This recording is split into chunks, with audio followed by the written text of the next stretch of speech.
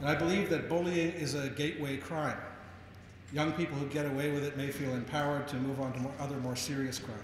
So early intervention in stopping bullying in its tracks is important to our community. January is Crime Stoppers Month, and Halton Crime Stoppers has chosen an anti bullying theme to help bring awareness to their programs and a focus on ending bullying in our community. Bullying is a serious crime. It comes in many forms, as we heard from some of our speakers tonight.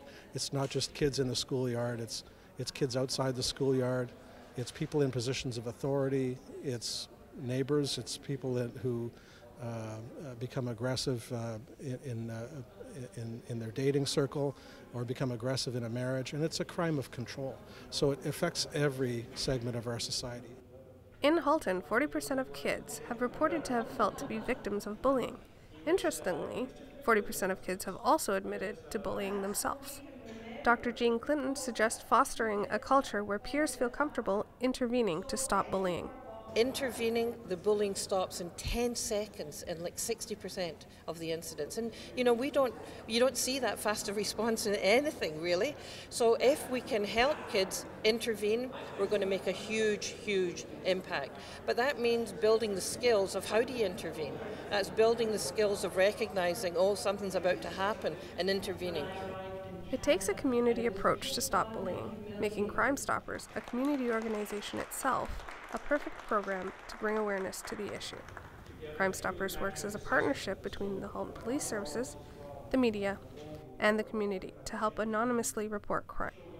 Sergeant Gold comments on how this partnership works.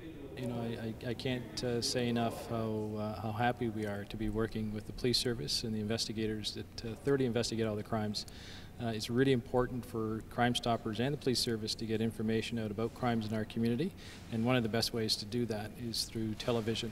Um, so we're very fortunate to be working with Cogeco and get those crimes out um, uh, as often as we can, and uh, I, I, I know as a coordinated program that we receive many, many tips as a result.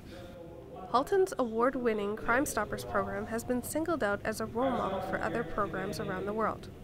They maintain the belief that community involvement is vital to help report and stop crime, and also vital to help end bullying. Reporting from Oakville, I'm Melissa Gervais for The Source.